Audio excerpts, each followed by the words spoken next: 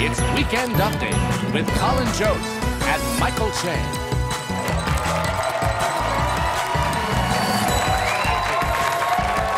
Thank you. Very much. Good evening, everyone. Welcome to Weekend Update. I'm Michael Che. I'm Colin Jost. Well, the election, guys, is three days away, and after all this time, Trump, I think, has finally found a winning message. You know, our doctors get more money if somebody dies from COVID. You know that, right? Yeah. That's our president, recently saved by doctors, saying doctors want more COVID for money. Which makes me think Trump only survived COVID so he wouldn't have to pay his doctors.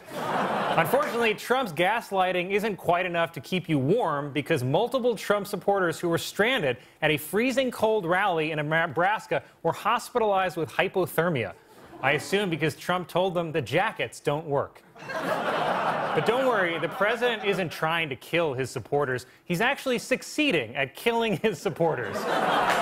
According to a study, over 30,000 COVID cases and 700 deaths have been tied directly to Trump rallies. That means he's officially killed more people across the Midwest than Jeffrey Dahmer and John Wayne Gacy combined, which is also kind of what Trump looks like. In the end, I guess that Trump was right, that he is not a typical politician, since politicians don't typically spend the last week of the election murdering their own voters. Lil Wayne, Lil Wayne met with President Trump this week to discuss Trump's FUBU Platinum plan for the black community. I don't know what it's actually called. Many are surprised by Lil Wayne's endorsements of Trump, but keep in mind Lil Wayne puts cough syrup in his Sprite, so grain of salt. Look, it's weird that I have to tell politicians this, but rappers are not black leaders. They're just rappers. Stop negotiating with them. They only do this with black people. I never saw a candidate talking to Gilbert Gottfried about what to do in Israel.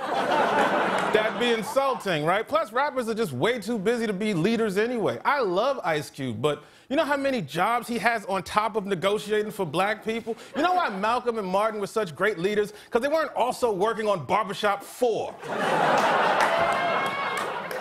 Experts say that Joe Biden could win in Georgia if he can assemble a coalition of black voters, white women, and rural voters. So basically, the voice. Jared, Jared Kushner, who always looks like a child dressed up for a funeral.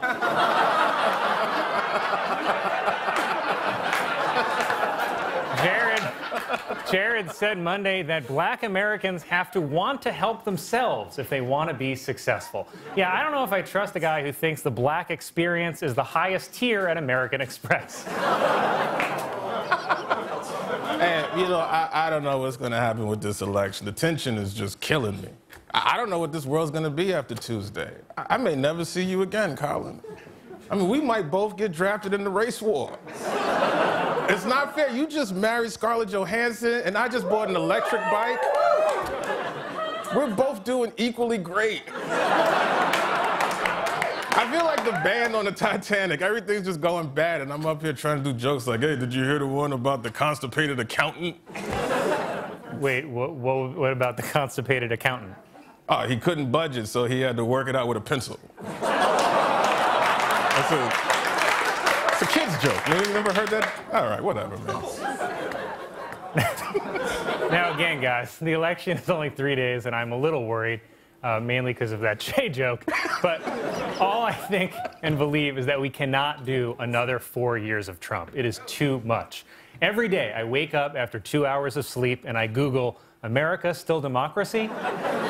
Even if you like Trump, at this point, you have to be exhausted. Remember that friend you had who at 4 a.m. would be like, Yeah, where are we going next? And you're like, This is fun, but if I keep hanging out with this dude, I'm to die.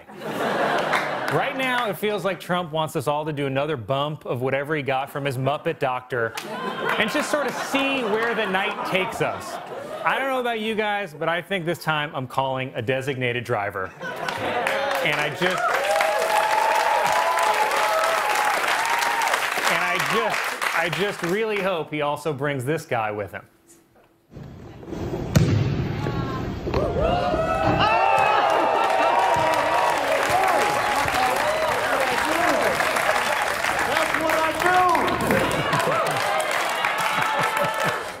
Okay.